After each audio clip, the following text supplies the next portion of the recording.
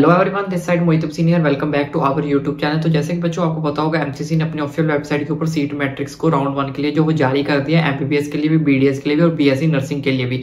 तो लेकिन उसमें से बहुत सारे बच्चों को दिक्कत आ रही है, बहुत सारे बच्चों ने मुझे मैसेजेस किया कि, सर बीडीएस की सीट्स के बारे में बताइए और बीएससी नर्सिंग की सीट्स के बारे में बताइए।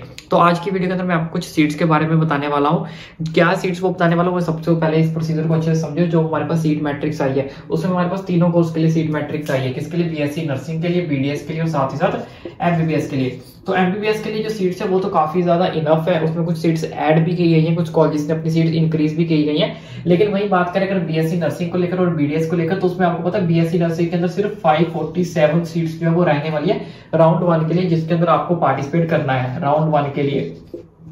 ठीक है? क्योंकि राउंड टू के अंदर कितनी सीट्स रहेंगी वो तो बाद में पता चलेगा, लेकिन फ़िलहाल के लिए जो हमारे पास सीट मैट्रिक्स आई है तो उसके अंदर राउंड वन के लिए सिर्फ़ 547 सीट्स हैं। किसके लिए? बीएससी नर्सिंग के लिए सारी कैटेगरी को अगर हम मिला लें, मैं यहाँ पे कैटेगरी वाइज बात नहीं करूँगा टोटल नंबर ऑफ़ सीट्स की बात कर रहा हूँ। यहाँ पे टोटल जो टोटल हमारे पास नंबर ऑफ़ सीट्स रहने वाली है, वो 547 सीट्स रहने वाली तो आप खुद एक्सपेक्ट कर सकते हो कि आपकी जो कट ऑफ़ है वो कितनी ज़्यादा हाई रहने वाली है। सिर्फ़ अप्रोक्सीमेटली साढ़े पाँच सौ सीट्स है जो हमारे पास बीएससी नर्सिंग को लेकर। वहीं दूसरी ओर बात करें यहाँ पे बीडीएस को लेकर बीडीएस की अगर बात करें तो 501 ऐसी सीट है। ऑल इंडिया के थ्रू जो फिल होंगी, ठीक है? जो राउंड वन के अंदर हमारे पास सीट मैट्रिक्स आई है, उसके अगर देखें, उसके अकॉर्डिंग तो 501 सीटें उसमें टोटल किया गया तो उसमें 501 सीटें जो ऑल इंडिया के थ्रू भरी जाएँगी 28 ऐसी सीटें जो ईएसआई के थ्रू भरी जाएँगी, और 276 ऐसी जो सेंट्रल यूनिवर्सिटी के थ्रू भरी जाएँगी।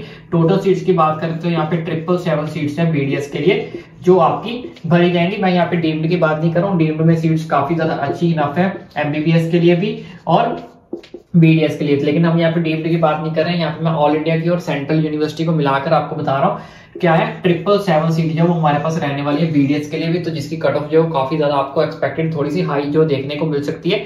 लेकिन आपको जो वो घबराना नहीं है। ठीक है? क्योंकि बहुत सारे बच्चे इस चीज़ को घबरा जाएँगे, भाई नहीं, साढ़े पाँच सौ सीट से मैं चॉइस फिलिंग नहीं करूँगा। मैं रजिस्ट्रेशन नहीं करूँगा आगे से।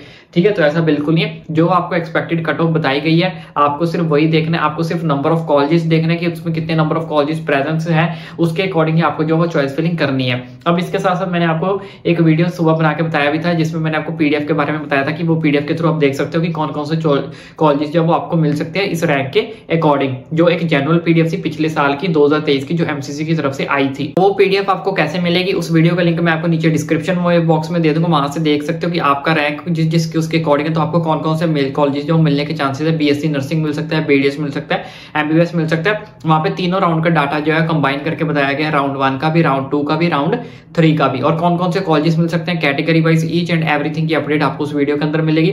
नंबर टू आपको चॉइस फिलिंग कैसे करनी है? उसके लिए भी ऑलरेडी वीडियो बना दी है कि कौन कौन से कॉलेज को ऊपर रखना है कौन कौन से कॉलेज को नीचे रखना है। ठीक है? उस वीडियो का लिंक भी आपको नीचे डिस्क्रिप्शन बॉक्स में मिलेगा। नंबर थ्री फिलिंग का लाइव डेमो जो है वो कैसे करना है, वो भी आपको ऑलरेडी बता दिया कि कैसे आपको जो लाइव डेमो मैंने करके बताया कि कैसे कैसे आपको जो चॉइस फिलिंग करनी है, कैसे कैसे कॉलेज को ऐड करना है, कैसे कैसे लॉक करना है, कैसे सेव करना है, कैसे अपने कॉलेज को रिमूव करना है, उस वीडियो का लिंक भी आपको नीचे डिस्क्रिप्शन बॉक्स में मिल जाएगा। लेकिन सीट मैट्रिक्स देख के आपको घबराना नहीं है, जो आपको एक्सपेक्टेड कट ऑफ़ बताई गई है जो जो रैंक आपके पास है तो उन्हीं कॉलेजेस को आपने क्या करना है? उसके अपने रैंक अकॉर्डिंग आपको सिर्फ़ फिल करते जाना टेंशन नहीं लेनी, सिर्फ़ कीप स्माइल करो पेशेंस रखो और पेशेंस रखने के साथ साथ अपनी अच्छे से चॉइस फिलिंग करो। बिल्कुल भी जो वो घबराना नहीं है। और इसके अलावा कोई और मेजर डाउट कोई क्वेरी बचती है तो ओपनली मुझे नीचे कमेंट करके आप पूछो।